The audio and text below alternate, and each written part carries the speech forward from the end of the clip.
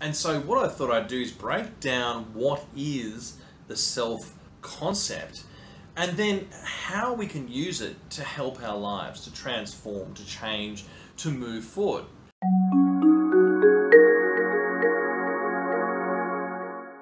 So I've actually got the book open in a few places. And this one I just wanted to read out to give a definition on the self-concept. It's basically a generalization about your experiences in life. That's what the self-concept is. It's a generalization about an aspect or a quality of your behavior. And moving in now to the second chapter, and he talks about the power of the self concept.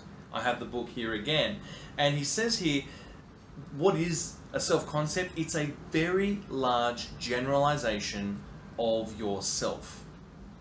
Let that sink in for a moment, where you've got a whole lot of qualities and it's a big generalization. It's also a system that creates continuity across time and space meaning your identity will back this up no matter what and spit out the results as you go through time and space. So it could be in the future, it could be things that you remember in the past, it could be your opinion about the present moment, it could also be wherever you are in different contexts, your identity and this self-concept will be with you, generalizing its way through the world. It's an energy saving device if you like. He then goes on to say it's a feed forward system oriented towards the future, meaning it strengthens itself as it goes. So if you have a series of beliefs, it'll strengthen those beliefs, and I'll get into that a bit later. And the fourth element was it's a recursive system that refers to itself and acts on itself, right? So your self-concept will refer to your opinion of yourself all the time and then act on that. So your actions, the daily habits, will come from that self-concept. So if you are, I'm just a natural athlete, that'll be your self-concept and you'll act on that. If I'm a natural lazy person, then if that's your self-concept, then you will act on that or maybe not act at all and be very comfortable, right? So you see the different people out there in the world and you can see their self-concept in how their physiology shows up straight away. So that's the very large generalization that he has in this book. Now your self-concept will also alter your perception of the world. You'll have a big filter on and it won't let you see the world in reality. It'll stop you seeing everything that's out there because of your opinions of yourself. And so a little element in here he talks about this is who I am. Think about that for yourself. This is who I am. When have you said that? It's just who I am.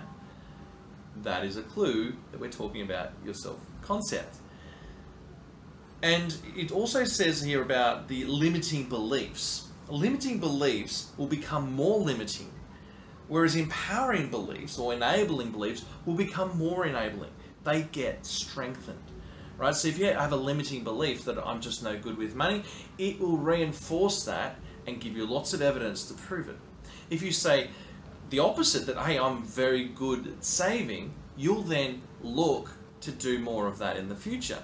And so it dictates, it's like you're a prophet of your own um, positive, uh, uh, what's the word, destiny, or you're a prophet of your doom, right? You're actually predicting the future because of your self-concept. So you can see how if you can change your self-concept from I'm no good at saving money to I'm a great little saver, right? That or I'm very good at investing or whatever this thing is. Don't get me wrong, we do need some skill. But what if you could change the self-concept? Do you think you might show up differently in the world? Of course you would. I know I would. And so I'm going to play with this on myself for sure, even further. I love studying this stuff. And I love shifting my perception of myself. And I love helping my clients shift themselves. So let's get into shifting your self-concept, loving this book, and we'll jump into some of those exercises as we move forward. And so first let's have a look inside the book about the elements of a healthy self concept. Really important. And so Steve Andreas talks about that your self concept needs to be durable, resilient, if you will, in that no matter what, you are going to back it up. No matter what, your self concept is going to follow through. And so you watch this all the time. You get, say, a pauper on the street, they will follow through with their self concept of what they think of themselves. You get someone who's, I don't know, at the other end of the scale, perhaps a business owner or, I don't know, Richard Branson or someone at the top of the chain financially. Well, their self concept, as you can imagine, is very different. so, what's the difference? They're just human beings who showed up on Earth as babies. What happened? So it's the self experience. It's the experiences of the two individuals are very different. The beliefs that were put into them in those first seven years of life are very, very different. And so their beliefs inside themselves, the values, are very different. And of course, the skill set gets magnified over 20 or 30 years because Richard Branson would keep on learning, whereas the person who's on the street didn't. They learned how to survive on the street, but their self concept was that they perhaps didn't value themselves because they were not valued as children. I mean, that's a very big generalization in itself, but you can see how those beliefs are going to stop you moving forward, stop you learning anything new when you're young and you haven't given up on yourself. And so that's really the self concept at play.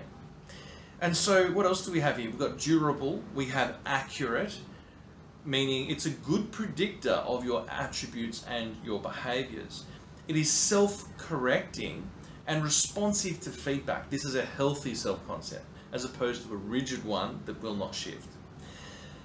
Unconscious, which means it's automatic, so it just it just happens. For example, with peak performance, people in a peak performance state have a great self concept and it just automatically comes out in particular situations because they've trained themselves in that way. It's also connecting with others rather than separating. This is a healthy self concept we're talking about, where we are connecting with others and not separating deliberately. It is free of self importance. Oh, that's a good one. There's the ego at play. And so, arrogance and all the other signs of egotism is it's free of that, right? So, this is a healthy self concept, right? This is someone who's rounded and centered. And it's very, very funny because right now, out my window here, I'm on the Gold Coast, which has a lot of people, you could argue, who, hmm, let's say, are not all that centered and uh, not all that grounded and are a little bit too worried about the opinions of other people. so I think I've got some self concept work that I might be able to do on the streets of the Gold Coast in Queensland, Australia. So it's very interesting studying this, and I'm sure as I go round the uh, Gold Coast area, I'm going to find lots of case studies to assist me with my scientific endeavors. So that is the, the six elements durable, accurate, self uh, correcting, and responsive to feedback, unconscious, connecting, and free of self importance. This, uh, these are the healthy elements of a good, healthy self concept, one of a person who will thrive in the world.